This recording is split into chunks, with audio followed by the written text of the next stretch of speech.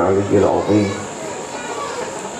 أعوذ بالله من الشيطان اللئيم الرجيم. بسم الله الرحمن الرحيم.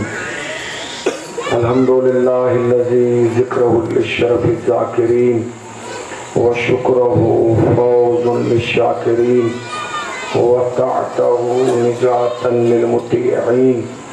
الصلاة والسلام على رسول الثقلين.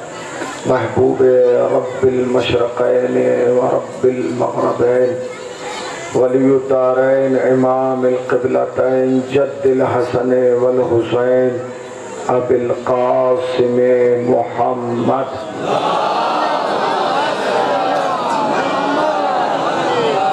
أما بعد فقد قال الله حق سبحانه تبارك وتعالى وقوله الحق. بسم الله الرحمن الرحيم وما تشاءون الا ان يشاء الله. صلوات پڑھنے پر محمد وعلى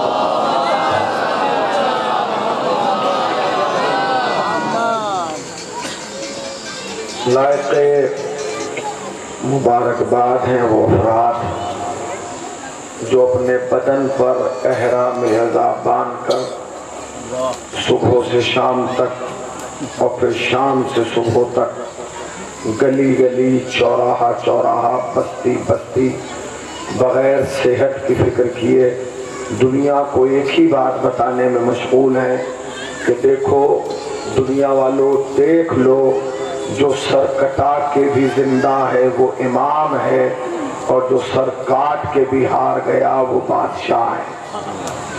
آپ صبح سے لے کے اب تک مسلسل عزائے سید الشہداء میں مصروف ہیں، مصروف رضا ہیں۔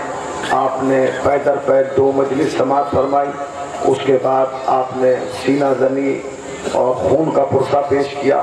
یقین جانیے، اگر کوئی اور قوم ہوتی تو اس وقت تک یہاں نہ بیٹھتی۔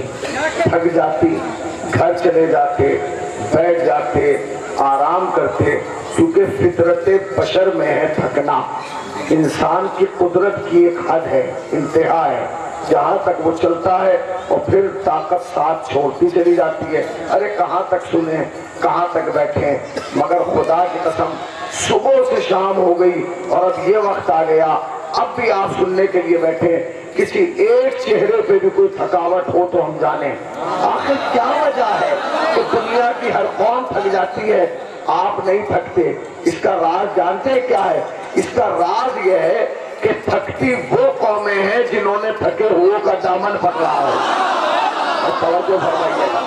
تھکتی وہ قومیں ہیں جنہوں نے تھکے ہوئے کا دامن پکڑا ہو۔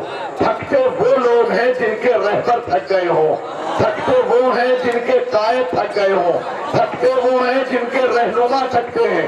تھکتے وہ ہیں جنہوں نے بادشاہ کا دامن پکڑا ہو۔ ہم نے تو اماموں کا دامن پکڑا ہے اور ان میں بھی ایک ایسا ہے جس کا چہرہ دیکھ کے عیسیٰ کی تھکان اترنے والی ہے۔ ایک ایسا ہے عزیزان گرامی، آپ عزادار ہیں عزادار دنیا کی سب سے عظیم مخلوق کا نام عزادار حسین ہے۔ توجہ سنیے گا، دنیا کی سب سے قیمتی مخلوق کا نام عزادار حسین ہے۔ دنیا میں ہر انسان کی خلقت یا آگ سے ہوئی یا پانی سے ہوئی یا مٹی سے ہوئی یا ہوا سے ہوئی۔ مگر جانتے ہیں، آپ کی خلقت کس سے ہوئی؟ نہ آگ سے، نہ پانی سے، نہ مٹی سے، نہ ہوا سے۔ اگر جاگ رہے تو پھر سنیے، اللہ نے جب خلق کے معیار بنائے، جو سر کشادہ تھے، وہ سردار بنائے۔ سرداروں میں کچھ صاحب انوار بنائے۔ انوار تراشے تو ازادار بنائے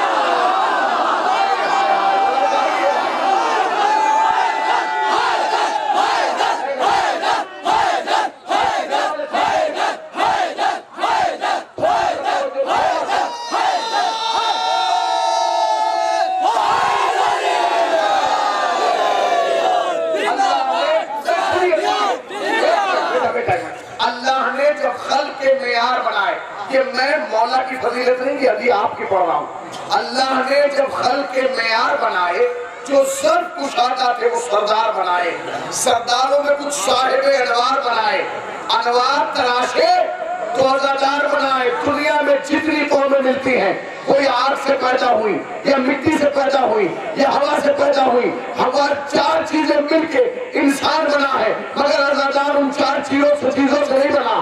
معصوم نے فرمایا کہ ہمارے شیعہ، ہماری افضل ترین تینوں سے پیدا ہوئے ہیں اللہ نے جب حل کے معیار بنائے، جو سب کشادہ تھے وہ سردار بنائے، سرداروں میں کچھ صاحب انوار بنائے، انوار طرح سے تو ازادار بنائے، تو نام نہ پانی نہ مٹی نہ ہوا سے ہم خلق ہوئے فاطمہ زہرا فاطمہ زہرا کی دعا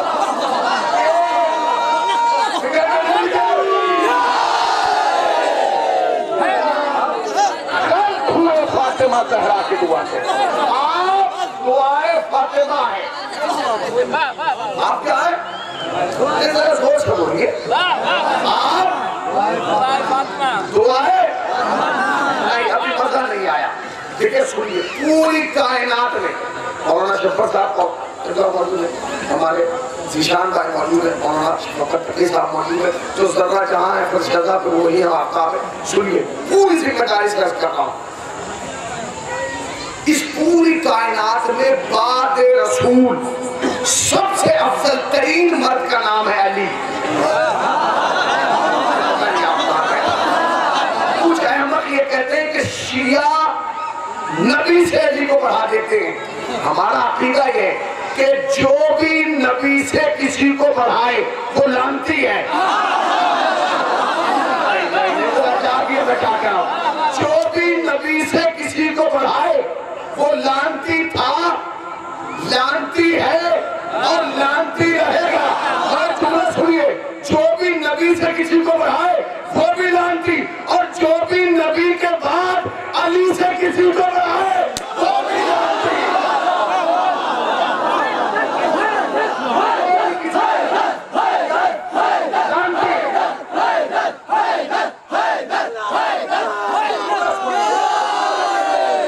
ابھی جملہ سنیا پھر آپ کو مزہ آئے گا انشاءاللہ اس پوری کائنات میں سب سے مرد کا نام کیا ہے؟ علی. علی کی ہر عطا تاریخ میں موجود ہے۔ آپ نے غور نہیں کیا۔ علی کی ہر عطا تاریخ میں کوئی کردار نہیں ملے گا آپ کو علی جیسا۔ جو پیدا ہوا تو تاریخ نے وہ بھی لکھا۔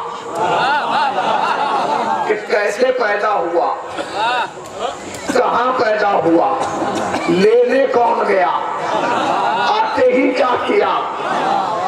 کیا سنایا اور کسے سنایا؟ بھائی ہم گونگوں کے ماننے والے تھوڑی ہیں۔ پھر سنیے۔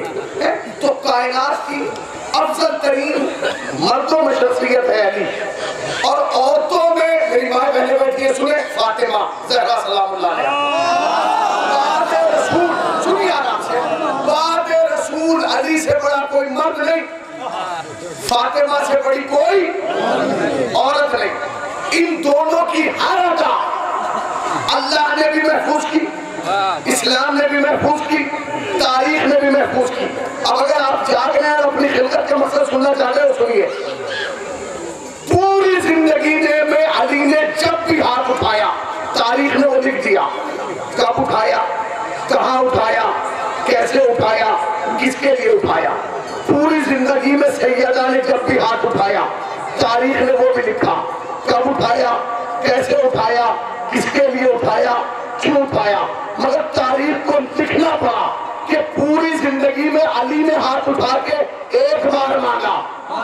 فاطمہ نے ہاتھ اٹھا کے ایک بار مانگا۔ مگر کمال یہ ہے، جب علی نے ہاتھ اٹھایا تو اللہ سے علمدار مانگا جب فاطمہ نے اٹھایا تو آزادار مانگا آزادار مانگا آپ حیدرے دم دم دم کا کعبہ مولود کعبہ میرا کا شوہر احمد پیمبر اٹر کے بولو زور سے بولو اس کے والے زینت، دین کی زینت عجب کا صبر عجب کا دمان امت کا کمال موین اللہ، نصر اللہ، لا فتح اللہ ایک سچی بات، ہجرت کی رات ہجرت پہ نبی کے اعلان قدیر، سلطان قدیر، ایمان قدیر ایمان قدیر، دونوں ہاتھ بلند کر کے، پوری قوت کے ساتھ نارا نارا ہوئی نارا نعرہ آپ کیا ہے آپ ازادار ہیں۔ آپ پر واجب ہے کہ پوری دنیا کو بتائیں کہ حسین میں اور یزید میں کیا فرق ہے۔ واہ۔ واہ۔ واجب ہے۔ ہم پیدائی سے لیے ہوئے کہ پتہ چلے کہ حسین کو آنا اور یزید کو۔ دنیا کی پوری کوشش یہ ہے کہ یزید کو امام بنا دے اور حسین کو بادشاہ بنا دے۔ اور ہم بتانا چاہتے ہیں کہ بادشاہ اور ہوتا ہے امام اور ہوتا ہے۔ جہاں سارے اختیار ہو وہ امام ہے۔ جہاں کوئی اختیار نہ ہو وہ بادشاہ ہے۔ جہاں علم ہی علم ہو وہ امام ہے۔ اور جہاں جہالتی جہالت ہو وہ بادشاہ ہے۔ جہاں تہارت ہی تہارت ہو وہ امام ہے۔ اور جہاں نجاست ہی نجاست ہو وہ بادشاہ توجہ سنیے گا، میں تقریر شروع کر چکا آج سے نہیں، اس زمانے میں لوگ کہتے ہیں، کربلا تو شہزادوں کی جنگ تھی۔ دو بادشاہوں کی، کیا بات کر رہے ہو؟ بادشاہوں کی جنگ کربلا بادشاہوں کی جنگ یہ پلاننگ کربلا کے بعد نہیں بنی۔ یہ پلاننگ اس وقت ہوئی جس وقت مولا کائنات نے دار الحکومت کوفے کو بنایا۔ سنتے رہیے گا۔ جس وقت امام علی نے دار الحکومت کوفے کو بنایا اسی ٹائم ایک حکومت شام میں بنائی گئی۔ سمجھ گئے نا کس نے بنائی؟ یزید کے باپ نے معافیا ہے مگر اس کی مجبوری یہ تھی کہ وہ اپنی حکومت کا کہیں ایڈورٹائز نہیں کر سکتا تھا۔ کیوں نہیں کر سکتا تھا؟ اگر وہ مدینے میں آ کے کہتا کہ میں بادشاہ ہوں، تو لوگ کہتے تیرا دماغ خراب ہے بیعت تو ہم نے علی کی کی ہے تم کہاں سے آ گئے کوئی مسئلہ کھڑا ہوتا۔ اگر وہ مکہ میں جا کے کہتا، وہ لوگ کہتے تیرا دلا خراب، ہم نے تو تین اندھوروں کے بعد علی کو چنا ہے۔ آپ کا سے لہذا بہت مشکل تھا کہ مکہ مدینہ میں عراق کے کسی شہر میں اپنی حکومت کو وہ ڈیولپ کر لیتا۔ لہٰذا اس نے کیا کیا؟ اس نے نیا پروگرام یہ بنایا کہ اپنے یہاں تو کام بات ہوگا، جو اگل بغل کی حکومتیں ہیں، آس پاس کے شہر وہ آپ مسجد کا چلا دیا جائے۔ یہ اندر کام کرتے رہیں گے، ہم حالات باہر مضبوط کر لیں اس نے کیا کیا؟ اس زمانے کی سب سے بڑی حکومت تھی روم۔ کون سی حکومت تھی؟ روم۔ نے ذرا زور سے بولی روم۔ اور وہاں کے بادشاہ کو کہا جاتا تھا کیسر روم۔ بہت بڑا بادشاہ تھا۔ یعنی اس زمانے کے بہت بڑی حکومتوں میں سے ایک حکومت روم کی تھی۔ یزید کے باپ نے قیسر روم کو خط لکھا کہ میں مسلمانوں کا بادشاہ ہوں، میرا نام یہ ہے، میں آپ سے بات کرنا چاہتا ہوں، میں آپ کی حکومت سے اپنے حکومت کے روابط بنانا چاہتا ہوں۔ بہرحال یہ خط بھیجتا رہا، نہ اس نے کوئی خط پڑھا اللہ کو جواب دیا۔ جو بھی خط جاتا تھا وہ پانی ڈسٹبین میں ڈال دیتا تھا۔ جب کوئی خط کا جواب نہیں آیا اور مسلسل ایک عرصہ قرار گزر گیا، چھ سات مہینے، تو اس نے اپنے بیٹے اسی کو بلا کے سنو کہا کہا میں اتنے خط بھیج چکا ہوں، ابھی تک کسی خط کا جواب نہیں آیا۔ اس نے کہا، پھر آپ کیا کہنا چاہتے کہ میں یہ چاہتا ہوں، اس بار خط نہ جائے، حکومت کا نمائندہ جائے۔ سمجھ گئے نا؟ خط نہیں جائے گا، حکومت کا نمائندہ جائے گا۔ تو اس نے کہا، ٹھیک ہے، ابا، بھیج دیجیے کسے بنا کے بھیجیں گے حکومت کا نمائندہ؟ کہہ لیں کسے بنا کر میرا بیٹا تو تو ہے۔ تو جا حکومت کی طرف سے۔ یزید شام کی حکومت کا نمائندہ بن کے کہاں پہنچ گیا؟ روم سنتے رہیے گا۔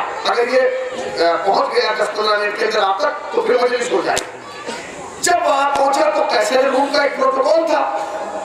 ہر آدمی ایک دم منتری سے تھوڑی مل سکتا۔ اس کے اپنا ایک سسٹم ہوتا۔ سیلولر سسٹم تھا. وہ گیا، اس نے کہا کہ آپ کو تیری مہینے سے کہاں سے آئے؟ شام سے آئے۔ کیوں آئے؟ بادشاہ سے ملنا۔ اس نے کہا، پہلے ہم بادشاہ سے جا کے پوچھیں گے، اس کی مرضی ہوگی تو ملنا۔ ورنہ یہیں سے چلے گا۔ توجہ سنیے گا۔ پوری توجہ۔ اس نے کہا کہ تو وہ گیا سپاہی اس نے کہا کہ حضور ایک عجیب و غریب شکل کا انسان ہے۔ اور وہ کہہ رہا ہے کہ وہ حکومت شام کا نمائندہ ہے۔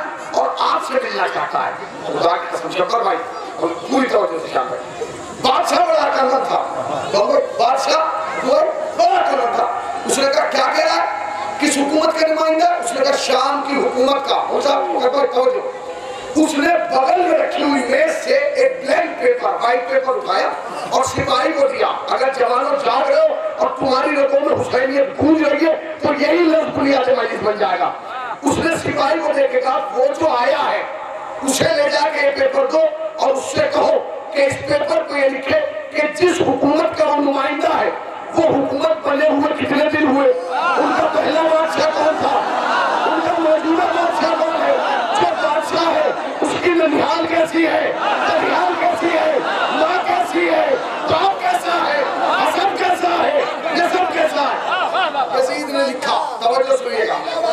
مجید نے لکھا۔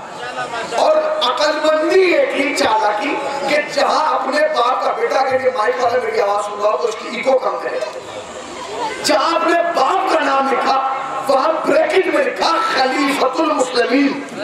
یعنی مسلمانوں کا خلیفہ۔ سپاہی لے کے پہنچا، بادشاہ نے پورا پیپر ایک نگاہ میں پڑا نگاہ اس پہ رک گئی خلیفت المسلمین۔ اس نے کہا بھائی تو مسلمانوں کا خلیفہ کا نمائندہ ہے۔ اگر اس سے نہ ملے تو یہ تو اتنی بدو قوم ہے کہ اونٹنی کے بچے کو بس کو لے رہے نہ اس سے لے لے تو ملے تو ملاقات، نہ آئے تو جنگ شروع ہو جائے۔ کیا کہیں تو اس نے کہا کہ ٹھیک ہے، میرے وزیر کو بلاؤ اس سے مشورہ کرتے اچھا یہ تاریخ کا اتفاق رہا ہے جواب کہ ہمیشہ بادشاہ سے زیادہ کلمہ اس کا وزیر رہا ہے۔ آئے آئے آئے آئے۔ آئے آئے آئے آئے آئے غالباً اس کا وزیر تھا۔ آج نے کہا کہ وزیر کو بلاؤ، وزیر کو بلایا گیا، وزیر رات کو آنکھ کے تک آیا خیریت کا سلامت اب رات کے اندھیرے میں۔ کہنے لگے، رات کے اندھیرے میں اس لیے کہ مسلمانوں کا نمائندہ آیا۔ کہنے مسلمانوں کا نمائندہ آیا۔ ابھی میں نے پوچھا تھا، جہاں اختیار ہے ماں امام ہے جہاں مجبور ہے وہاں بادشاہ، اس نے کہا، مسلمانوں کے خلیفہ کا نمائندہ آیا اگر پہلے والوں کو آتا تو ہضم ہوتا۔ اب جو ہے، اسے آنے کی ضرورت نہیں ہے۔ مطلب، کہاں سے آیا ہے؟ اس نے کہا کہ شام سے۔ اس نے کہا، یہی غلط ہے۔ اس لیے کہ مسلمانوں کا خلیفہ شام میں تھوڑے رہتا ہے۔ وہ تو کوفے میں رہتا ہے۔ موقف میں رہتا ہے۔ اب دو ذہن ہو گئے۔ کہنے لے کہ یہ آیا ہے شام سے۔ اور یہ کہہ رہا ہے کوفے میں۔ اس نے کہا، یہ کیسے ممکن ہے کہ مسلمانوں کے دو خلیفہ ہو ایک شام میں کوفے میں اس نے کہا میں بتا رہا ہوں۔ مسلمانوں کا جو خلیفہ ہے، اس کا نام علی ہے۔ وہ نبی کا داماد ہے، اور وہ کوفے میں رہتا اور یہ جو آیا ہے کہ پتہ نہیں کون ہے، کہاں سے آیا اس نے کہا، دیکھو، ایسا ہے کہ تم کہہ رہے ہو، مگر اپنے بازار سے جو دو تاجر آئے ہوئے نا، اس میں ڈھونڈواؤ۔ کوئی شام والا ہوگا، اس کے بھی بلاؤ کوئی کوفے والا ہوگا، اس کے بھی بلاؤ۔ سپاہی گئے ایک شام والا تاجر پکڑ لائے کوئی ایک کوفے والا۔ آ گئے۔ بھائی، تاجر پکڑ کے بادشاہ کے سامنے لائے، کام کیا؟ بادشاہ سلامت خیر۔ انہوں نے کہا خیر ویر نہیں، یہ بتاؤ کہ تمہارے یہاں کوئی مسلمانوں کا خلیفہ ہے؟ کوفے والے سے کہا، اس نے کہا ہاں ہے۔ کہا کام کامیر کائنات، مولا کائنات۔ رسالت کا امین صاحب ذوالجلال والی کا ابو طالب کا شریف پوری فوج کو۔ تو بادشاہ نے کہا کیا کبھی تم نے علی کو دیکھا؟ اس نے کہا، دیکھ کیسی باتیں کرے۔ میں تو نمازی ان کے پیچھے پڑتا ہوں۔ اب دیکھئے گا جملہ۔ میں تو نمازی ان کے پیچھے پڑتا ہوں۔ اس نے شام والے سے پوچھا، تم نے شام والے کو دیکھا؟ اس نے کہا، میں تو شام کو پیتا ہی ان کے ساتھ ہوں۔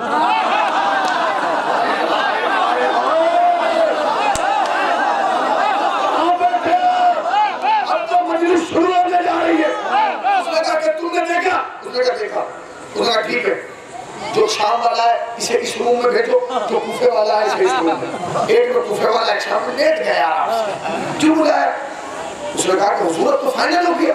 وہ شراب پینے والا ہے یہ نماز پڑھانے والا۔ اس نے کہا، ایسے نہیں، دو مصور بلاؤ۔ مصور جانتے ہو؟ تصویر بنانے والے۔ یہ جوان نہیں جانتے۔ پہلے کیمرے نہیں تھے۔ اب یہ کیمرے کا زمانہ آ گیا۔ پہلے مصور تصویریں بنایا کرتے تھے۔ تصویر کھینچی نہیں جاتی تھی۔ مصور تصویر بنا تھا۔ دو مصور بلا دیے گئے۔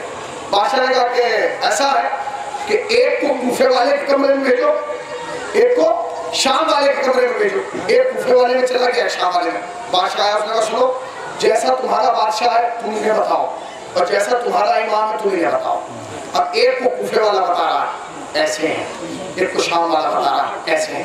دونوں تصویریں بن گئی مصوروں نے پوچھا، ان کے نیچے نام لکھے، اس نے کہا بالکل نہیں لکھنا۔ ارے حضور، آپ نے تصویر بنوائی، آپ کو پتا کیسے چلے گا؟ کہ کوفے والے کی کون سی اور شام والے کی کون سی؟ امام کی کون سی اور بادشاہ کی کون سی ہے؟ اصلی کی کون سی اور نقلی کی کون سی ہے؟ سچے کی کون سی ہے اور جھوٹے کی کون سی ہے؟ اس نے کہا، وہ فیصلہ ہم پہ چھوڑ دو۔ بس تم تصویریں بناؤ، چلے جاؤ۔ جب ہم بلائیں گے تب آ جانا۔ لیجیے سرکار تصویر بن گئی۔ کوفے والے کی بھی، شام والے کی بھی۔ بادشاہ کو یہ نہیں پتا کوفے والے کی کون سی ہے، شام والے کون سی دونوں تصویریں ایک حال میں لا کے رکھی گئی۔ یہ کوفے والی، یہ شام والی۔ جب کوفے والے اور شام والے کی تصویریں رکھ دی گئی، تو بادشاہ نے کہا، وزیر کو کہ سنو، تم جانتے ہو اس میں کوفے والی کون سی ہے؟ اس نے کہا، آپ نے پوچھنے ہی نہیں دیا۔ پتا تو جب چلے گا، جب پوچھتے، وہ تو بنا کے چلے گئے۔ اس نے کہا، اب میں بتاؤں گا کہ سچا اچھا کون ہے جھوٹا۔ اس نے کہا، حضور آپ کیسے بتائیں گے؟ میرے پاس فارمولہ جتنے حکومت روم میں عالم ہیں سب کو بلا لو۔ تو کس کے کہ سب توریت والا زبور والا انجیل والا قرآن والا سب آئے۔ توریت والا اپنی کتاب جما کے زبور والا اپنی کتاب جما کے قرآن والا اپنی کتاب لے کے سب آ گئے۔ بادشاہ سلامت خیر تو ایک ہی بلایا۔ نے کہا سب خیریت ہے۔ بس اتنی سی گزارش ہے کہ جو دو تصویریں ہیں نا اگر مجمع جاگ رہا ہے تو لفظ مجلس ہے۔ یہ جو تصویریں ہیں دونوں ان تصویروں کو دیکھو۔ اور پھر اپنی کتابیں کھول کے ان تصویروں کو اپنی کتابوں میں ڈھونڈو۔ محمد عالم آپ اس کو رکھ دیجیے اس کو رکھ دیجیے پڑھے پر محمد عالم اس نے کہا اس نے کہا کہ آئیے بعد میں گھر بیٹھیے اس نے کیا کہا بادشاہ نے اس نے کہا کہ آپ کا کوئی کام نہیں۔ آپ کے پاس جو کتابیں ہیں نا، اللہ کی بھیجی۔ انہیں کھولیے اور کھولنے کے بعد ان تصویروں کو ان میں دیکھیے، جس کا چہرہ تمہیں اپنی کتاب میں ملے، اسی تصویر کے نیچے دستخط کرتے رہنا۔ توریت والے نے توریت کھولی۔ آنکھیں توریت میں نظر آئی، دستخط کر دیے۔ چہرہ زبور میں نظر آیا، دستخط کر دیے۔ سلفے انجیل میں نظر آئی دستخط کر دیے۔ سب نے اٹھ اٹھ کے دستخط کیے اور چلے گئے۔ اب جو بادشاہ آیا، تو ایک تصویر وہ تھی جس پہ دستخط ہی دستخط تھے۔ ایک پہ وہ تھی جس پہ انگوٹھا بھی نہیں تھا۔ اس نے پوچھا، یہ بتاؤ، انہیں بلاؤ، دونوں مصور کو بلایا گیا۔ کہ بتاؤ، جس پہ دستخط ہے، یہ کس کی ہے؟ جس پہ انگوٹھا نہیں، یہ کس کی ہے؟ اس نے کہا، جس پہ دستخط ہے، یہ کوفے والے کی ہے۔ یہ کوفے والے کی ہے۔ اور جس پہ انگوٹھا بھی نہیں، یہ شام والے کی ہے۔ ہو گیا فیصلہ۔ نقلی کون ہے اور اصلی کون ہے؟ اس نے دستخط کرنے والوں کو بلایا کہ بھائی ایک آدھ دستخط اس میں بھی کر دیتے۔ اس نے کہا آپ نے شرط ایسی رکھی تھی۔ اگر اس کا چہرہ توریت میں ملتا تو کرتے۔ انجیل میں ملتی۔ لیجیے وزیر خوش۔ کیا کہنے بادشاہ سلامت؟ فیصلہ ہو گیا۔ سچا کون جھوٹا کون؟ اس نے کہا ایسے نہیں ہوگا۔ ابھی تو یہ ہمارا تمہارا فیصلہ ہے۔ اب ایک خط کوفے والے کو لکھو۔ یزید کو روکو اور ایک خط کوفے والے کو لکھو اور اس سے کہو کہ حضور، یا تو خود آئیے۔ اور اگر خود نہیں آ سکتے تو اسے بھیجیے جو آپ جیسا ہو۔ آئے آئے۔ یا تو آپ آئیے، یا اسے بھیجیے جو آپ جیسا ہو۔ نیچے سر خط امام کے پاس پہنچا۔ تمہارا پہلا امام مسجد و کفا کے ممبر پہ تھا۔ امام نے خط پڑھا، مسکرایا۔ بغل میں کھڑے تھے امام حسن۔ آواز دی، حسن میرے لال، ذرا ادھر تو آپ یا مجھے بلایا ہے، یا مجھ جیسے کو بلایا ہے۔ اس پورے مجمع میں مجھ جیسا تو تو ہی ہے نا۔ ذرا چلا جا اور بادشاہ کو بتا دے کہ اصلی کون ہے اور نقلی کون ہے۔ سپاہیوں کے ساتھ امام حسن بھی آگے۔ ہوں ایک کمرے میں یزید، ایک میں امام حسن۔ سمجھ رہے؟ ایک میں اصلی، ایک میں نقلی، ایک میں سچا۔ ایک میں جھوٹا ایک میں بادشاہ ایک میں امام ایک میں طہارت ایک میں نجاست ایک میں صداقت ایک میں صرف چھوٹ بیٹھ گئے۔ بادشاہ نے کہا کہ حضور اب کیا کرنا؟ کہنے اب کچھ نہیں کرنا اعلان کر دو پوری حکومت میں کل بازار نہیں کھلے گا۔ کل کوئی شاپ نہیں کھلے گی۔ کل کوئی مارکیٹ نہیں کھلے گی۔ اور یہ دربار دربار میں نہیں لگے گا بازار میں لگے گا۔ کیا مطلب؟ کل فیصلہ ہونا ہے سچا کون ہے جھوٹا کون ہے؟ لیجیے سرکار اعلان ہو گیا حکومت کوئی دکان نہیں کھلے گی۔ کوئی بازار نہیں کھلے گا۔ کل فیصلہ ہوگا سچا کون ہے، جھوٹا کون ہے۔ لیجیے پورا مجمع جمع ہو گیا۔ گلی میں دربار لگایا گیا۔ بادشاہ سلامت آئے، پورا مجمع کھڑا ہو گیا۔ ہاتھ جوڑ کے حضور، خیریت تو ہے۔ آج ہمیں کیوں بلایا؟ انہوں نے کہا، دو بندے آئے اور دونوں مسلمانوں کے نمائندے سمجھ میں نہیں آ رہا۔ ان میں اصلی کون ہے اور نقلی کون ہے؟ تمہیں تجربہ ہے۔ تم دیکھ کے بتا دو۔ کہ اصلی کون ہے اور نقلی کون ہے؟ اس کے بعد بیٹھ گیا بادشاہ اشارہ کیا سپاہی کو کہ جاؤ یزید کو لے کے آؤ۔ سپاہی پہنچا ہوگا یزید سے چلیے آپ کو بلایا۔ سچ سور کے لباس اچھا پہن کے یزید آیا۔ جو مین گیٹ بنایا گیا تھا نا جیسے یہاں بنایا گیا جو صدر دروازہ تھا اس کو یزید رکا اور رک کے جھکا جھک کے سلام کیا۔ بادشاہ نے کہا ہے یہ کیا؟ پھر آگے بڑھا سینٹر میں آیا۔ پھر سلام کیا۔ ہاں، پھر اور قریب آیا۔ تخت کی تین پیڑیاں تھی تینوں پہ چڑھا۔ اور چڑھنے کے بعد گھٹنوں پہ بیٹھا۔ بادشاہ کا ہاتھ لیا۔ چوما بادشاہ نے حقارت سے کہا، جاؤ، وہ کرسی خالی پڑی ہے، بیٹھ جاؤ۔ بیٹھ گیا۔ اس نے کہا، ذرا کوفے والے کو لے کے آؤ۔ کوفے والے کو سپاہی گیا۔ اس نے کہا، حضور، آپ کو بلایا ہے۔ تمہارے امام حسن نے نبوت کا امامہ سر پہ رکھا۔ توکل کی ردا ڈالی تقوی کا پٹکا باندھا۔ اسائے موسیٰ ہاتھ میں لیا۔ پنجتن کی غیرت سمٹ کے آنکھوں میں آئی۔ کلامہ کلامہ امام حسن۔ صدر دروازے پہ آئے۔ تاریخ کا جملہ یہ ہے کہ نہ حسن نے دائیں دیکھا، نہ بائیں دیکھا، نہ آگے دیکھا، نہ پیچھے دیکھا۔ حسن نے عرش کی طرف دیکھ کے کہا اور دنیا والوں اس اللہ کا شکر ہے کہ اس نے ہمیں اپنے لیے بنایا ہے اور اس پوری کائنات کو ہمارے لیے بنایا ہے۔ اس پوری کائنات کو ہمارے لیے بنایا۔ تعریف کرتی ہے اس کے بعد امام نے جو قدم رکھا نا دربار میں، خدا کی قسم پورا دربار اللہ۔ حیبت نکلی تھی، چہرے پہ۔ اور جو جو امام پڑھتے جا رہے تھے، بادشاہ اٹھتا جا رہا تھا۔ امام درمیان میں آئے، بادشاہ کھڑا ہو گیا۔ امام اور بڑھے، بادشاہ اترا امام اور بڑھے، بادشاہ اور اترا امام بڑھے، بادشاہ زمین پہ آ گیا۔ جب امام حسن قریب آئے، بادشاہ نے ہاتھ جوڑ کے کہا حسن ترس خالی پڑا ہے جا کے بیٹھ جائیے امام نے کہا ترس مکتوب ہے ہمیں دوسروں کی جگہ افسانے کی عادت نہیں ہے دوسروں کی جگہ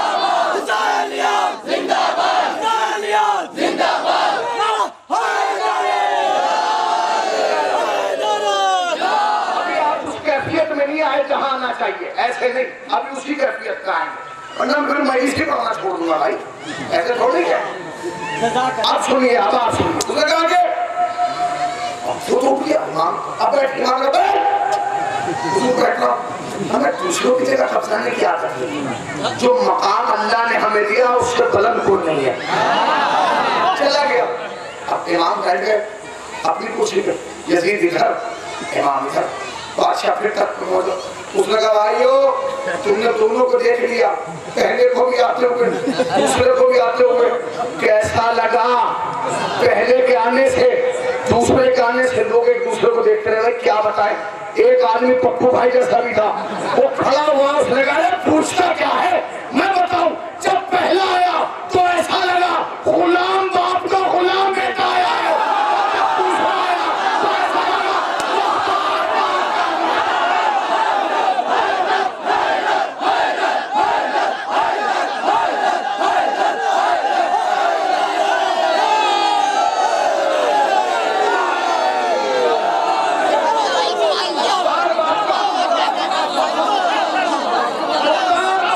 مختار بیٹا آیا یزید ادھر امام حسن ادھر پوری کمر آپ بور تو نہیں ہو رہے؟ اگر وہ ختم کرتے ہیں۔ سننا چاہتے ہیں کہ کیا ہو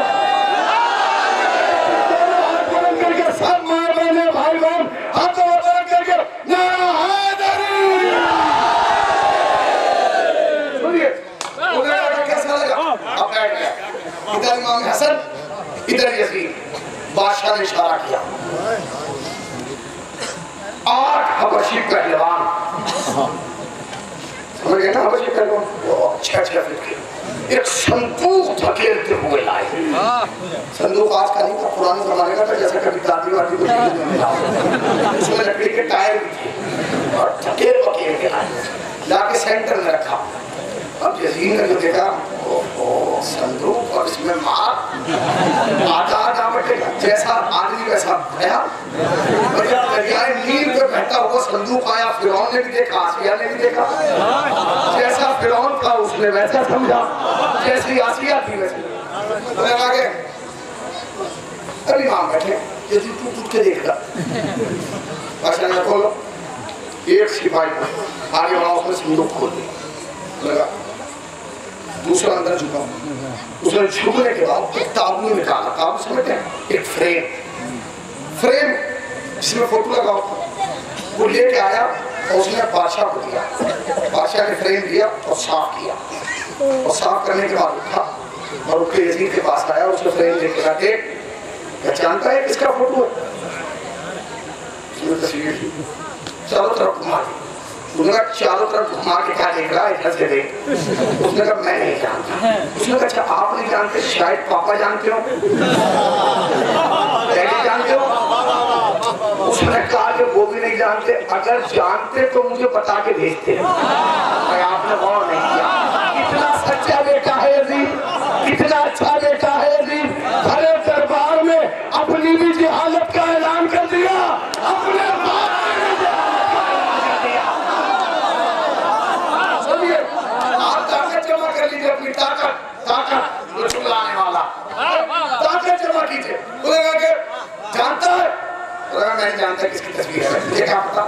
پاپا جانتے وہ بھی نہیں جانتے جانتے تو بتا کے دیتے بادشاہ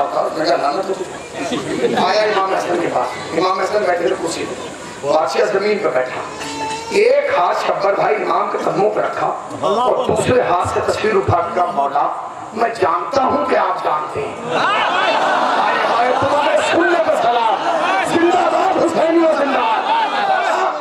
جانتا ہوں کہ آپ جانتے ہیں۔ مولانا مگر اس دربار کو بتا دیجیے کہ کون امام نے تصویر دیکھی اور تصویر دیکھے گا۔ جو ہم نہیں بتائیں۔ اور سب کو پسینے آ گئے یار اگر یہ نہیں بتا رہا تو اس کا تو یہ پیدائشی حق ہے۔ آج کے لیے یعنی برتھ سرٹیفکیٹ میں لکھا ہے کہ کچھ نہیں بتا پائے یہ نہیں بتا رہا تو کون بتائے؟ سب کی بات ہے، بڑا دربار ہے، آپ کہہ رہے کہ نہیں بتا ہم نہیں بتائیں گے۔ اچھا، دونوں پاؤں پہ ہاتھ رکھ بہت یہ نہیں بتا رہا چلیے اس کا تو حق ہے، آپ تو جانے آپ بتائیے۔ سنیں گے جملہ خدا کی قسم، اگر کھڑے بھی ہو گئے تو حق نادا ہوگا۔ سنو گے، امام نے آہستہ سے کا ادھورا امتحان لے رہا ہے، ایک تصویر نکال کے پوچھ رہا ہے، یہ کس کی؟ اگر ایک کا ہم نے بتا دیا تو ابھی تو صندوق میں تین سو بارہ ہے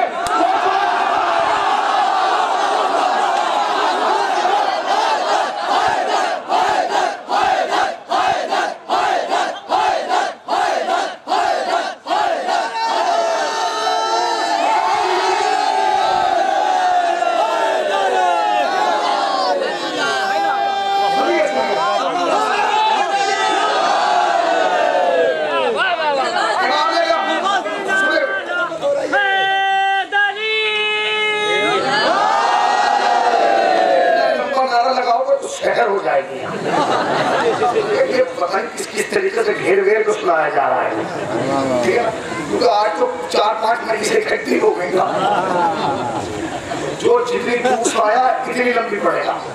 یہ عباس بھائی کی طرف کا آرڈر ہے۔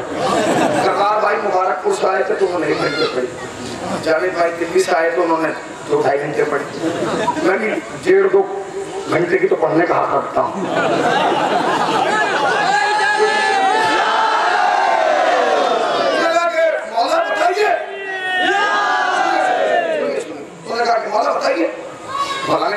سامنے بتا دیا تو تین سو بارہ کون بند ہو رہے؟ وہ پپو آ جاتا ادھر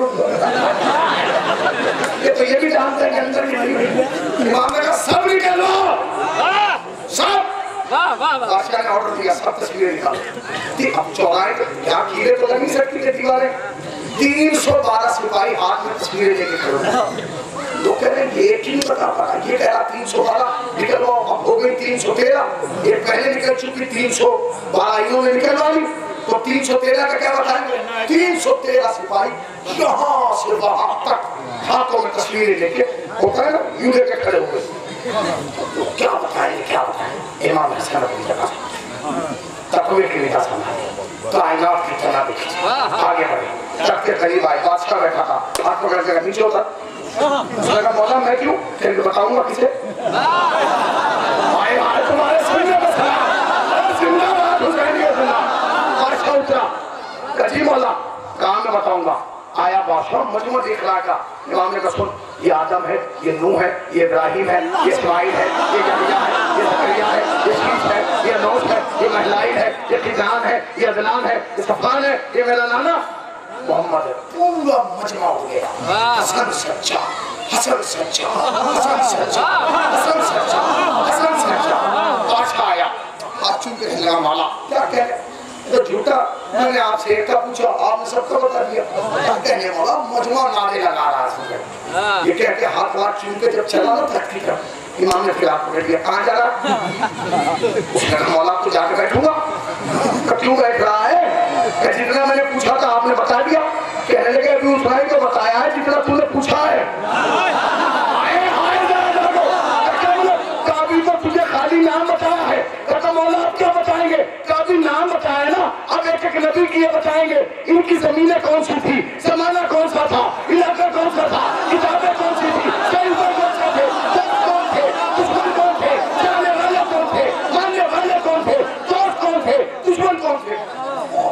مجموعہ ہوا امام نے کی بتائی۔ اس نبی کی زمینیں یہ تھی زمانہ یہ تھا کتابیں یہ تھی، علاقہ یہ تھا، بہت یہ تھے چاہنے والے یہ تھے، ماننے والے یہ تھے۔ مجموع حسن سچا حسن سچا آگے چومنے لگا بہت مجلس تمام بتا دیا۔ عجیب جملہ۔ جیسے ایک ایک نبی کی بتائی، آیا، پھر پاس بادشاہ چکا۔ دونوں ہاتھ چوم کے رہا۔ میں نے خالی نام پوچھا۔ آپ نے سب کے تو نام بتائے۔ پھر سب نبیوں کی یہ بتائے کہ ان کی زمینیں کون سی تھی زمانے کون سے تھے؟ علاقے کون سے تھے؟ کتابیں کون سی تھی شریفے کون سے تھے؟ دوست کون سے تھے؟ دشمن کون سے تھے؟ جاننے والے کون تھے؟ ماننے والے کون تھے؟ صحابی کون تھے؟ اور کون تھے؟ اب کیا بچا؟ کیا بات ہے؟ آپ جیسا تو سچا کوئی یہ کہہ کے چلا۔ امام نے پھر آپ کو کہہ دیا۔ کوئی غازی پروالو خدا کی قسم تمہیں مولا غازی کی قسم۔ اگر یہ جملے کا حق ادا کرنا ہے تو پھر ایسا ہو کہ حسن راضی ہو جائے۔ عجیب جملہ اگر اس پر کھڑا بھی ہو گیا مجمع تو حق نہیں ادا ہوگا۔ امام نے کہا کہ ٹھیک ہے، اس نے کہا کہ ٹھیک ہے مولا۔ جانے لگا۔ امام نے پھر ہاتھ پکڑ لیا۔ اس نے کہا مولا، تو کہاں جا رہا ہے؟ تو مولا، کیا بچا؟ میں نے نام پوچھا تھا آپ نے نام بھی بتایا، زمانہ بھی بتائی، زمینیں بھی بتائی کتاب بھی بتائی۔ امام نے کہا، ابھی تو تجھے ہم نے ان کے بارے میں بتایا۔ تو کہنے لگے بچا کیا؟ کہنے لگے، ابھی تو یہ بتائیں گے، ان میں کس پہ میرے باپ کا کیا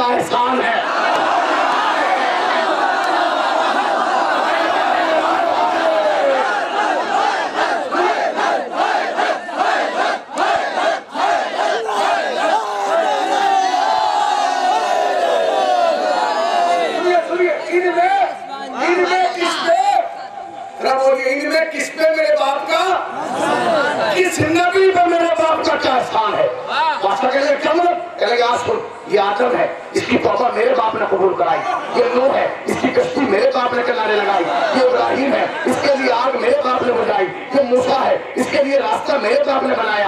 یہ یوسف ہے، اسے کنویں سے میرے باپ نے نکالا۔ یہ سلیمان ہے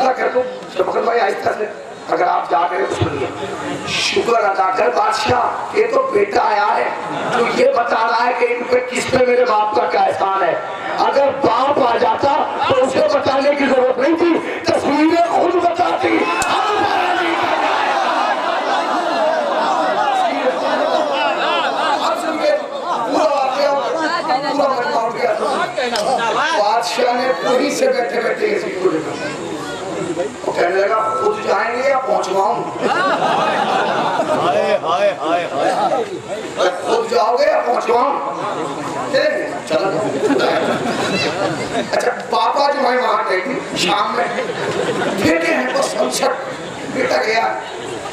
پہلی فرسٹ پولیٹیکل میٹنگ ہے۔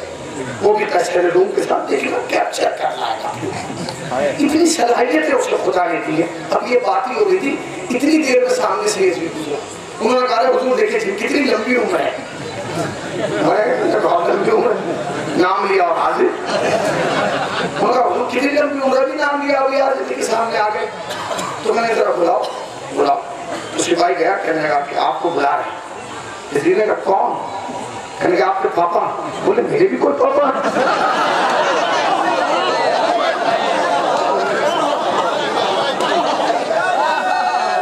یہ گھر گلی مل گئے سوچو جو سنی گا لگا کہ کون کہنے لگا پاپا اچھا یہ بھی دنیا کے واحد پاپا تھے، جو گھر میں پاپا اور میدان جنگ میں آپا۔ پہلا دنیا کا واحد پاپا تھا۔ نہ میں نہیں آ رہا ہوں یہ آپ کو بلا رہے ہیں۔ اب وہاں دو بیٹھے دربار میں خیر یزید آیا۔ انہوں نے پوچھا کیا بات ہے؟ کہنے بیٹے، ہوتا کیا؟ یہ سب یہاں بیٹھے بتاؤ انہیں تم نے کیسی رہی تمہاری بیٹی انہوں اندر آدمی اندر بتاؤ۔ کہ نہیں یہی بتاؤ۔ انہوں نے اندر آئیے۔ سمجھا کیجیے آپ۔ نہیں! اس نے کہا سننا چاہتے ہو، تو پھر نہیں سنو؟ بتاؤ، آگے کل کو تمہیں کا بادشاہ بننا حکومت کرنا ہے یہ بھی تو پتا چلے کہ ہمارے بادشاہ میں ہونے والے میں کیا کیا کوالٹیز ہیں۔ تو کہنے لگے پھر سنیے۔ بھرے دربار میں دلیل کیا ہے؟ بادشاہ تھا چلا لا کیا کس میں اتنی مجال کہ میرے بیٹے کو دلیل کرے۔ اس نے کہا بھی والیوم کم ہو جائے گا نام پھر کہا کس میں اتنی مجال؟ اس نے کہا ہوتی کس میں اتنی مجال؟ جس کے باپ نے آپ کو دلیل کیا تھا اس کے بیٹے نے مجھے دلیل کیا۔ کس نے آئے آئے۔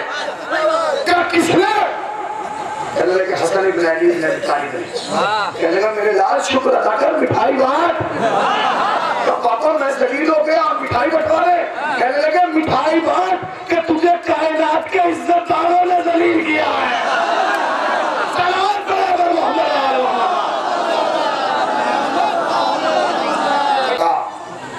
بدلہ لینا۔ کیا کہہ بدلہ؟ وہ بھی آنے نہیں سے، اسے بھول جا۔ نہیں۔ بدلا کہا بیٹے بھول نہیں! بدلا اس نے کہا اس کو بھول جا کوئی بدلا بدلا نہیں، دادا بھی اس کی امید میں باہر نکل گئے۔ ابا اس کی امید میں بیٹھے دادا کی خواہش پوری ہوئی، نہ ہماری ہوئی۔ تم کہ نہیں بدلا لینا خدا کی قسم، جب تک مولا کائنات زندہ ہے، اس کا کو چانس نہیں نہ ملے اسے بھی نہیں لگا یہ بدلا لے لیتا۔ مگر تاریخ یہ کہتی ہے کہ سن بیالیس ہجری میں مولا کائنات کے بعد جب امیر شام مدینے آیا تو اس نے سب کو بلایا۔ سب آئے امام حسن نہیں آئے۔ نے بلایا کہ آئیے آئیے۔ سب آئے۔ تیسرا دن جب ہوا تو اس نے سپاہی بھیج کے کہا کہ سب آئے ملنے آپ نہیں آئے۔ امام نے کہا، ہمیں ضرورت ہی نہیں، ہم کیوں آئیں گے؟ نہیں آئیے۔ امیر آپ سے ملنا چاہتا۔ امام نے کہا، ٹھیک ہے، ہم شام کو آئیں۔ جب سے پتہ چلا کہ شام کو آئیں گے، تو جو دربان تھا نا جو پردہ وردہ ہٹاتا تھا۔ اس نے اس کو بلا کے کہا کہ دنیا کے چاہے امیر آئیں فقیر آئیں رئیس آئیں کوئی بھی آئیں سب کے لیے پردہ ہٹانا۔ مگر جب علی کا بیٹا حسن آئے، اس کے سے پردہ نہیں ہٹانا اس سے بدلہ لینا ہے ہمیں۔ کیونکہ شہر اس کا ہے لوگ اس کے ہیں، مدینہ اس کے نانا کا شہر، یہی بدلہ لیں گے۔ اس نے میرے بیٹے کو دلیل کیا تھا نا، کیسے روم کے دربار تو نے کہا ٹھیک ہے، ہم نے کیا فرق پڑ رہا ہے بھائی۔ ہمیں کیا ضرورت ہے؟ اٹھانے کی نہیں اٹھائیں گے آپ امام حسن آئے۔ جیسے امام حسن کو سپاہی نے دیکھا تو تم ہاتھ پکڑ میں ملے گی پردہ نہیں اٹھاؤں گا۔ امام نے مسکرا کے اس کو دیکھا پردہ نہیں اٹھاؤں گا۔ امام نے جیسے ہی پہلا پیر پیری پہ رکھا، آدھا پردہ اوپر۔ ہائے آہستہ سے تو پردہ بھی نہیں گیا تھا، جتنے آہستہ سے آپ کا ہاتھ اوپر گیا ہے بھائی۔ جیسے ہی امام حسن نے دوسرا پیر ٹوکا پردہ چھت سے جا ملا۔ اور امام حسن نے کہا، اور ریت کے بعد تیری حکومت یہاں تک تھی، میرا پروردگار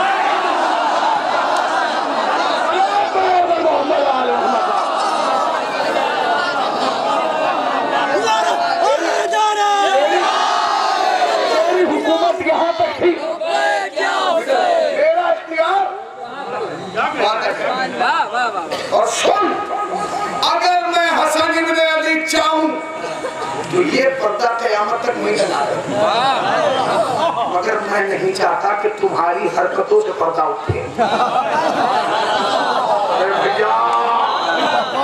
میں نہیں چاہتا کہ تمہاری حرکتوں سے پردہ اٹھے۔ اس نے یزید کو دیکھ کے کہا، لے لیا بدلا بڑھ گیا سب کو۔ دیکھ دیکھ کیسے حالات امام حسن آگے بڑھے۔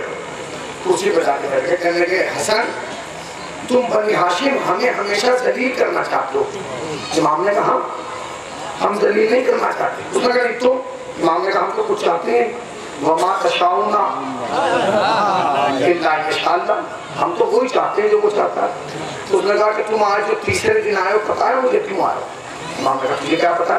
کہنے کہ تمہیں معلوم ہے جو بھی بندہ مجھ سے پہلے دن سے ملنے آ رہا ہے میں سب کو سونا بانٹ رہا ہوں۔ سونا چاندی ہیرے موتی جواہرات۔ اب آپ تیسرے دن آئے آخری ٹائم آپ کی سوچ کے آئے کہ میرے پاس کچھ نہیں۔ ہے سب بانٹ چکا اب میں خالی ہوں۔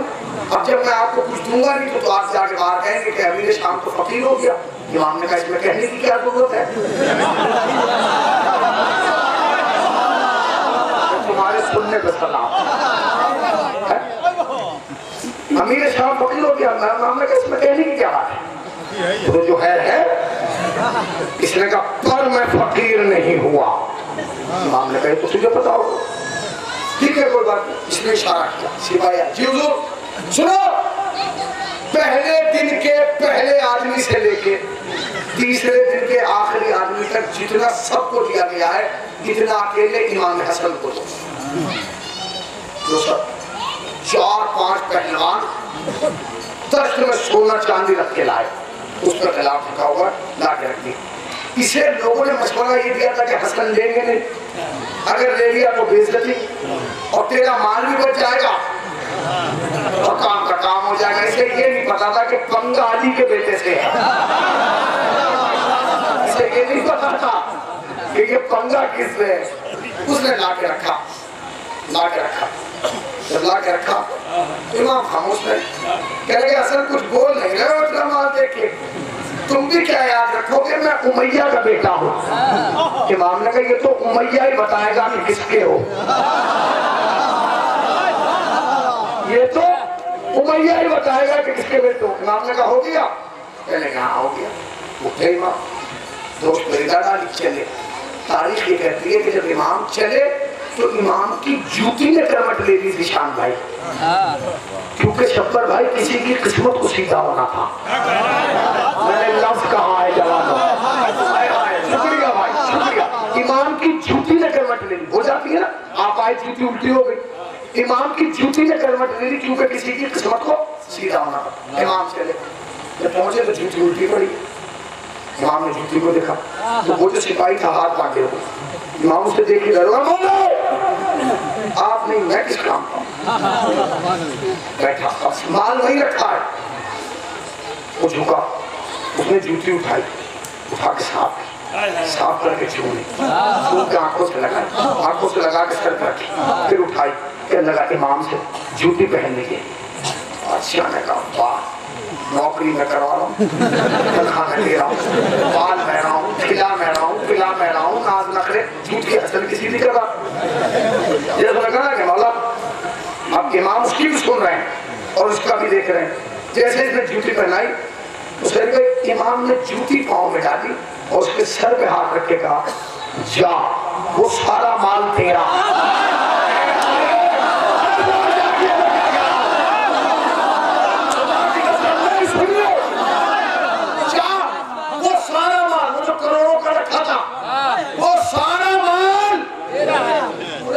سب کو پسینے آ گئے۔ کہنے لگے مال بھی گیا، عزت بھی گئی۔ کہنے لگا حسان کن تو لیتے، یہ کروڑوں ہے امام نے کہا، چپ اور بیٹا ہے۔ اگر تو میاں کا بیٹا ہے، میں فاطمہ کا لال ہوں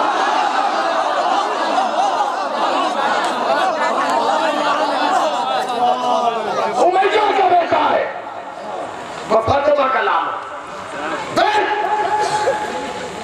کیس ہو ماں بھی چلا گیا اس اس نے پھر بیٹے کی طرف سے لے لیا بدلا پڑ گیا سکون کہا تھا اولاد علی سن اللہ انہوں نے کہا جانے نہیں دینا جانے نہیں دینا انہوں نے کہا جانے نہیں دینا اب یہ اگر آ گیا تو جتنی بچی ہے یہ بھی لے جائے گا کہ نہیں اب اس نے وہیں سے بولنا شروع کیا یہ طریقے امام اس کی طرف دیکھا۔ اس سے پہلے کہ امام کچھ بولتے اب غلام کیا کہہ رہا ہے؟ ارے مالا چھوڑیے، ایسے ہو کے منہ چھوڑی لگتے کمال ہے تنخواہ میں دے رہا ہوں، پال میں رہا ہوں، مجھے کیا؟ کہنے کے غلام، اس نے کہا خبردار ہاں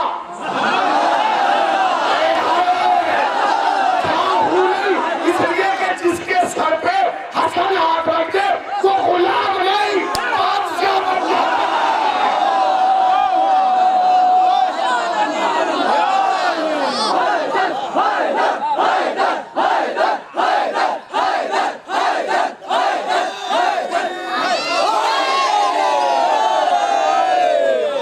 وہ غلام نہیں اس نے کہا ایسے نہیں جائیں گے امام نے کہا ہمیں نہ جانے سے کوئی روک سکتا ہے نہ آنے سے کوئی روک سکتا کہا دونوں نہیں جانے دیں بادشاہ نے ایک بندہ دربار میں بلایا تھا جو اس زمانے کا کہیں گی مذاق اڑانے والا ہوتے ہیں ہر گلی محلے میں ایک آدمی ہوتا ہے جس کا کام ہی لوگوں سے حسینہ مذاق اڑانا کھینچائے کم وہ بھی آیا پتا اشارہ کیا۔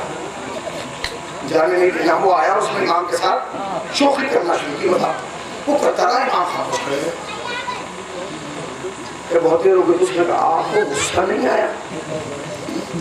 امام نے کہا، اگر ہمیں غصہ آ گیا تو قیامت آ جائے نہیں، آپ کو غصہ نہیں آیا؟ کہ نہیں۔ آپ میرے کسی مذاق کا جواب بھی نہیں دے رہے۔ بھائی جوانوں خدا کی قسم، کیا لفظ کہا ہے امام نے؟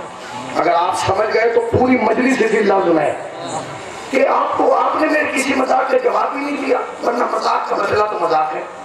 امام نے کہا تو اتنا بے حیا ہے کہ اب بھی کوشش کر رہا ہے کہ لوگ تیرا مذاق اڑائیں کیا تیرے لیے یہ مذاق کم ہے کہ تو سماج میں جس کا بیٹا مشہور ہے وہ عمر میں تجھ سے دو سال چھوٹا ہے؟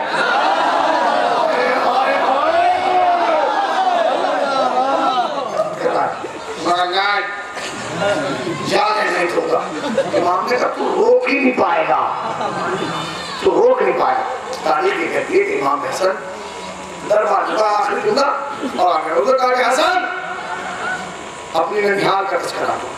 اور امام نے جملہ کہا عجیب جملہ تاریخ ساز ہے۔ ہر تاریخ میں آپ کو ملے گا۔ امام نے کہا، سن۔ تو ہماری ننھیال کے بارے میں پوچھ رہا ہمارے گھر کی عورتوں کے لیے۔ تو سن۔ میں، حسن ابن علی، ابن ابی طالب، اپنی ماں حوا سے لے کے سارا تک سارا سے لے کے حاجرہ تک، حاجرہ سے لے کے مریم تک، مریم سے لے کے خدیجہ تک، خدیجہ سے لے کے فاطمہ تک، سب کا کردار بھلے دربار میں بیان کر رہا ہوں۔ معاویہ تو اپنی ماں کا کردار میرے کان میں بیان کر دے۔ جملے پہ ختم ہو جائے۔ میں بھلے دربار میں بیان کروں تو اپنی ماں کا کردار میرے کان میں بیان کروں اچھا میں آپ سے پوچھتا ہوں ذیشان بھائی، یہ تو بے حیا تھا۔ اگر یہ کان میں بیان کر دیتا۔ ہمیں کیسے پتہ چلتا بھائی؟ امام تو اللہ کی صفت رکھتے ہیں، وہ تو عیبوں کو چھپاتے ہیں وہ تو کبھی بھی نہ بتاتے کہ اس نے میرے کان میں یہ کہا ہے کہ اس کی ماں ایسی تھی۔ میں غور کیا، جس نے ہاتھ اٹھایا سلام کر رہا ہوں صاحب بہت بہت شکریہ۔ بھائی، امام میں تو اللہ کی صفت ہے۔ امام تو بتائے نہیں کہ معاویہ نے میرے کان میں یہ کہا، پھر آپ ڈیمانڈ کیوں رکھ رہے یہ تو بے حیا ہے، اگر اس نے بتا دی تو کیا ہوگا؟ امام نے کہا، بتانے تو دے۔ میں نے کہا مولا یہ بتا دے گا، آپ بتائیں گے نہیں، بات چھپ کے رہ جائے گی۔ امام نے کہا اسے بتانے تو دے۔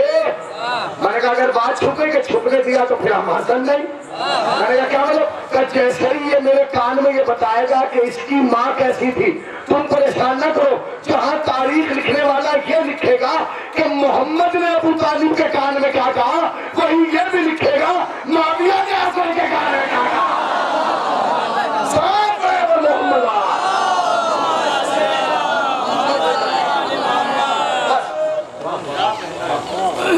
کردار بہت ضروری ہے جہاں فضائل سنا کریں وہاں تبرہ بھی سنا۔ کریں جزو دین ہے، اور ایک جملہ کہوں، بڑی ذمہ داری کے ساتھ۔ جس دن سے ہمارے علماء اور خطبہ نے تبرہ پڑھنا بند کیا ہے نا، قوم میں بہادر بچے پیدا ہونا بند ہو گئے۔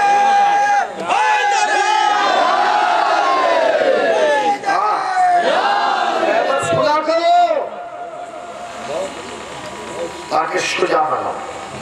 خندق سنا کرو۔ ارے ہم نے کسی بھگوڑے کا دامن تھوڑی پکڑا ہے۔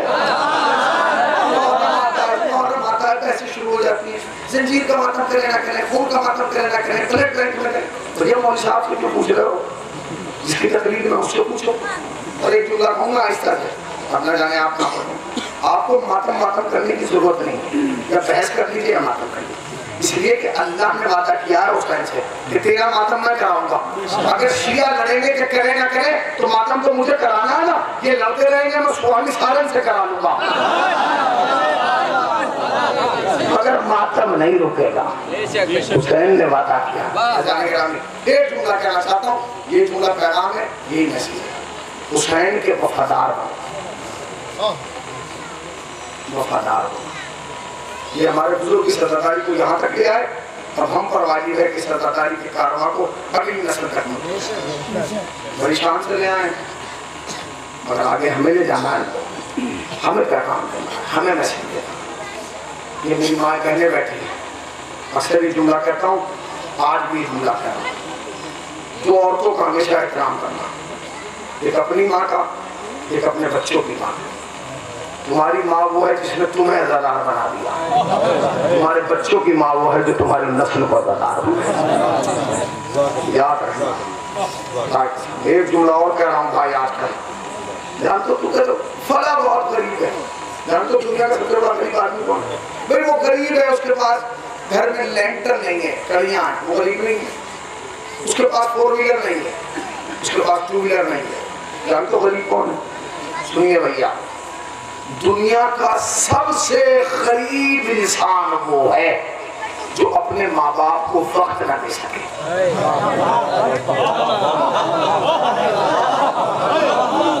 اس سے زیادہ غریب کوئی ہے جو ماں باپ کو وقت نہیں دے سکتا، وہ کیا دے گا؟ اس سے بڑا غریب کون تو امیر بنو ماں باپ کو وقت دے کے، شریف بنو عزاداری کو وقت دے کے۔ تمہارے لیے پیغام ہے۔ امام حسن تک بات آ گئی۔ جہاں ہم بیٹھے، اس پردے کو جب ہٹاؤ گے، تو تمہیں کربلا کا نقشہ نظر آئے گا۔ اور جب وہاں جاؤ گے، تو ایک سیاہ خیمہ نظر آئے گا۔ اور جب اس خیمے کا پردہ ہٹاؤ گے، تو اس میں ایک زندان نظر آئے گا۔ بڑے خوش نصیب ہے بانیان پروگرام کس خلوص کی بنیاد پر اس مرحوم نے جلوس کی بنیاد رکھی؟ ربی انہوں نے سوچا تھا کہ اس گاؤں میں اتنا مجمع اس وقت ہوگا۔ اگر آپ چار بجے اس تعداد میں تھے تو یہ کمال نہیں تھا۔ اس وقت تعداد میں رہنا خدا کے ساتھ ہمارا عقیدہ ہے کہ جو غدار ہوتا ہے وہ مجلس میں ضرور آتا ہے۔ تو بانی اعضا جو ہیں ربانی تھے جو مرہوم ہو گئے، ان کی روح یہاں ہوگی۔ انہوں نے سوچا نہیں ہوگا کہ اتنا اچھا پروگرام ہوگا۔ آج ایک برانڈ بن گیا ہے۔ سفر کی نوچندی کے اشتہار کا انتظار پورے سال لوگوں کو رہتا ہے۔ کب ہے؟ کب آئے گی؟ کب ہوگی؟ وہ تو چلے گئے، مگر اس سال ثواب کا میٹر چل رہا ہے۔ انہوں نے کبھی سوچا تھا انہوں نے تو ایک جلوس نکالا تھا، چھوٹا سا جلوس، وہ بھی ایک زلجنا کی شکل میں۔ انہوں نے تھوڑی سوچا تھا کہ اتنا بڑا جلوس بن جائے گا، اتنی انجمنیں آ جائیں گی۔ اکبر پور سے انجمن آ گئی، حیثیت سے انجمن آ گئی ازادار آ گئے ماتمدار آ گئے، خون کا پرسہ دینے لگے۔ ہر سال اضافہ ہو رہا ہے۔ جب اس سے پچھلے سال آیا تو یہ زندان نہیں تھا، مگر جب آج آیا اور صبح میں نے زندان کو دیکھا تو میرا روا کھڑا ہو گیا فاطمہ کی کتنی غریب ہے۔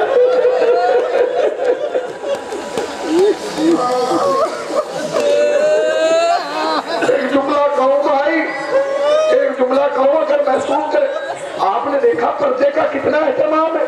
کہ زندان کو بھی پردے میں رکھا گیا ہے۔ کیونکہ سید غادی سے منسوب ہے۔ تم نے کبھی سوچا؟ تمہیں تو اس بات کا خیال ہے کہ سکینہ کا زندان بھی کھلے میں نہ ہو۔ سید سجاد پہ کیا گزری ہوگی؟ جب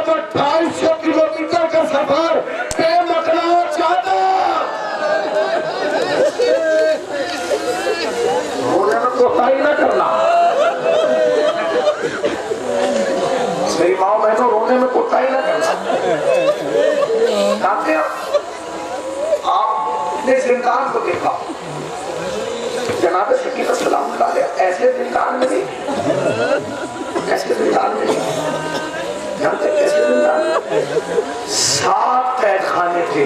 ایک، دو، تین، سات میں قید خانے میں سکین آگے جانتے سن لیجیے آپ جملہ۔ سن لیجیے۔ جب جناب سکینہ کے رونے کی آواز یزید کو پریشان کرتی تھی نا، تو یزید سو نہیں پاتا تھا۔ اس کے بھائی اس نے پوچھا یہ کون رو رہا ہے؟ تو کہتے تھے، حسین کی یتیمہ رو رہی ہے اس نے تمام اہل بیت کو دربار میں بلایا۔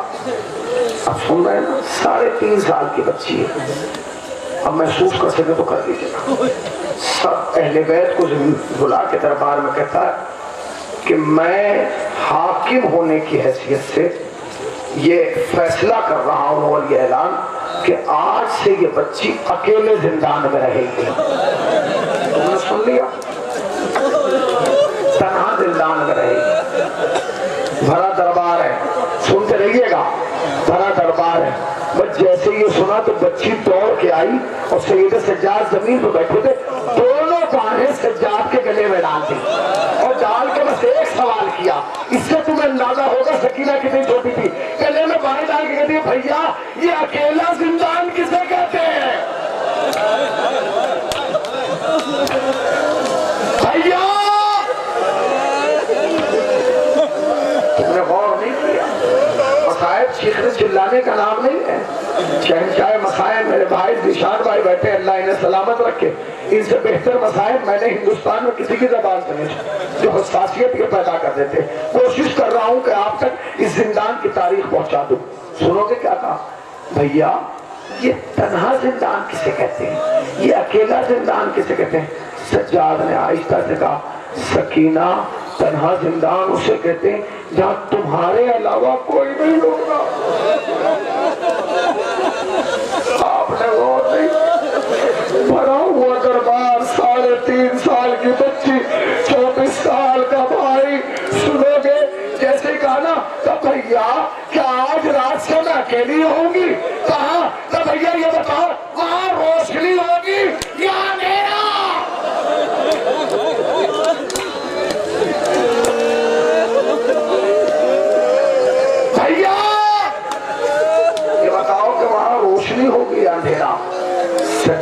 نے کہا سکینہ یہ تو وقت بتائے گا۔ سنو گے بس محسوس کرنا، اس جملے کو محسوس کرنا۔ سنو گے، سید سجاد کی باہوں میں، گلے میں باہیں ڈال کے سکینہ نے آہستہ سے کان پر رکھ کے کہا، بھائی، اگر ہو سکے تو کبھی کبھی ملنے آیا کرنا۔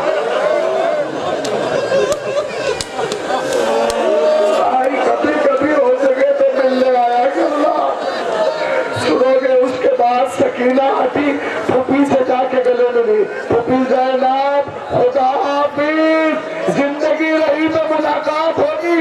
بی بی اگر کبھی کبھی ہو سکے تو ملنے آیا کرنا تمہیں سن لیا، میں نے پڑھ دیا سنو گے، سکینہ کی آخری ملاقات کس سے ہوئی؟ جناب عباد سے۔ ماں کے گلے میں بچے کی بھائے بچی نے بھائے ڈالی۔ اماں، کیا مجھ سے ملنے آؤ گی ابھی ماں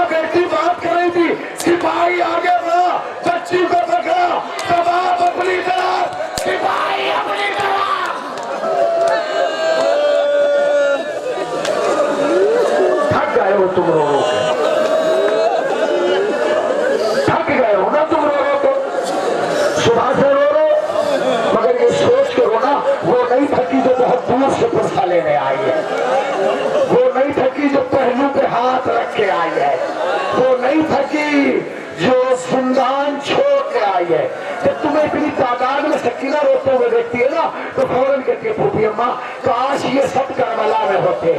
میرا بھائیہ اصغر نہ مارا جاتا۔ سن لوگے میری ماں بہنوں، تم رونے میں کوتاہی نہ کرنا۔ کیونکہ تم تنہا نہیں بیٹھی ہو۔ تمہارے درمیان سیدہ فاطمہ رہتی ہے۔ تمہارے درمیان سے بیٹھی ہے۔ جمعہ کہنا چاہتا ہوں رونے کے لیے۔ سنو کہ جناب فاطمہ کی کل عمر ہے اٹھارہ برس۔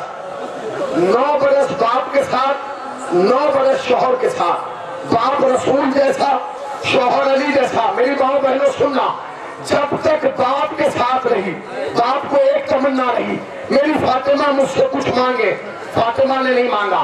جب شوہر کے ساتھ آئی، تو شوہر کو ایک تمنا رہی، فاطمہ کچھ مانگے، فاطمہ نے نہیں مانگا۔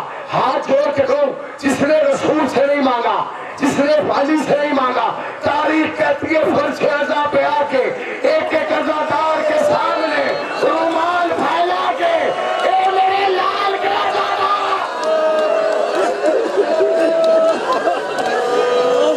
تمہارے ہاتھ بنے کیا تمہارے رونے پہ کچھ تماچے مار رہا ہے۔ یہ تو اختتام ہے۔ اگلے برس سفر کی نوچندی میں وہی آئے گا جو زندہ رہے گا۔ دل بھر کے رو لیجیے۔ بڑی محنتوں سے انتظام کیا جاتا ہے پورے سال۔ ایک ایک ازادار کا انتظار کیا جاتا ہے۔ سال میں نہ جانے کتنی بار ہمیں فون کیا جاتا ہے آپ کو بھائی یاد رکھیے گا سفر کی نوچندی۔ ہاں خالی ہم یاد نہیں رکھتے، زینب بھی یاد رکھتی ہے، فاطمہ بھی یاد رکھتی ہے، سکینہ بھی یاد رکھتی ہے۔ تمہیں شاید رونا اس لیے نہیں آ رہا، کیونکہ تم نے پردے کے ادھر کا منظر نہیں دیکھا۔ اگر وہاں جاؤ گے تو تم دیکھو گے ایک گٹھڑی بندھی رکھی ہے۔ وہ گٹھڑی جانتے ہو کس کی ہے؟ وہ کوئی اور نہیں، وہ حسن کے لال قاسم کا لاشا ہے، جسے حسین چگ کے لائے تھے۔ سنیں گے دو جملوں میں اس رحمت تمام سنیں گے ایسے زندان میں سکینہ کو رکھا گیا رکھا گیا بی بی چلی گئی دنیا سے سید سجاد نے اللہ اکبر سید سجاد نے پھوپی سے کہا پھوپی اماں آپ خود غسل دیجیے گا بس حالہ کو نہیں بلایا جناب زینب نے خود غسل دیا۔ سنو بھی، چار جنازے، تین جنازے ایسے جنہیں غسل دینے والا چیخ مار کر رویا۔ پہلا جنازہ سیدہ فاطمہ کا۔ علی چیخ مار کے روئے۔ پسلیاں ٹوٹ چکی تھی دوسرا جنازہ زین العابدین کا محمد باقر چیخ مار کے روئے۔ اس لیے کہ جب جنازہ پلٹا تو پشت پہ تازیانوں کے نشان تھے۔ سنو گے تیسرا جنازہ کس کا؟ حسین کی ساڑھے تین سال کی سکینہ کا۔ جب زینب جنازے کو غسل دے رہی تھی، چیخ مار کے روئی سے جاننے کا بھوپی اماں خیر تو ہے۔ کہنے لگی، میرے لال، یہ بتا، کرتا کیسے اتاروں؟ اس لیے کہ اگر میں کرتا اتارنے کی کوشش کر رہی ہوں، تو کھال کرتے کے ساتھ آ رہی ہے۔ سن لیے آپ؟ سن اس کھلے ہوئے میں بیٹھ کے رو رہے کیا تمہیں فاطمہ کی غربت یاد نہیں آ رہی؟ کیا تمہیں زینب کی غربت یاد نہیں آ رہی؟ ہاں غسل دیا گیا۔ بندے ہاتھوں سے سجاد نے دفن کیا، رہائی مل گئی، سب آ گئے۔ سب کو ہماریوں میں سوار کرایا۔ زینب نیچے کھڑی۔ ہے اماں پھوپھی اماں کیا آپ سوار نہ ہو میرے لال، ہو جاؤ۔ سب بیبیاں سوار ہو گئی تمہاری ماں رباب نظر نہیں آتی سجانے کا پھوپھی اماں، میں جانتا ہوں کہاں ہوگی۔ کہ کہاں سجاد آگے آگے پھوپھی پیچھے پیچھے۔ سجاد آگے آگے پھوپھی پیچھے پیچھے۔ اس زندان کے اس کونے میں آئے جہاں سکینہ جی قبر تھی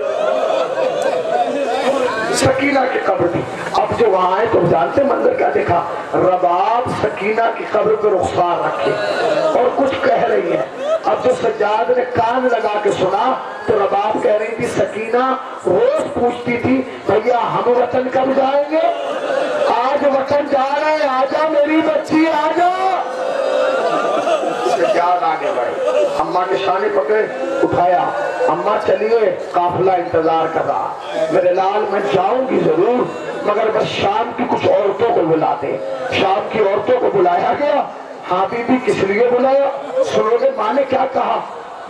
سنو گے، آہستہ سے کہتی ہے، بیویوں، میری بچی کو اندھیرے سے بہت ڈر لگتا تھا۔ اگر ہو سکے، روز آ کے چراغ جلا دیا کرنا۔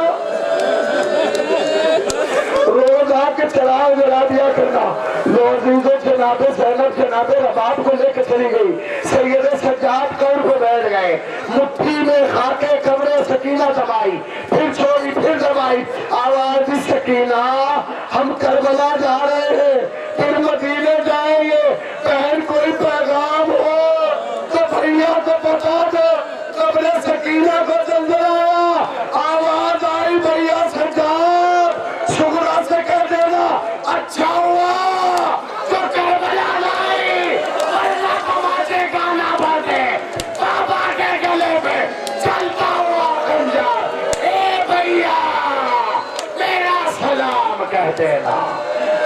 哎呀，对了。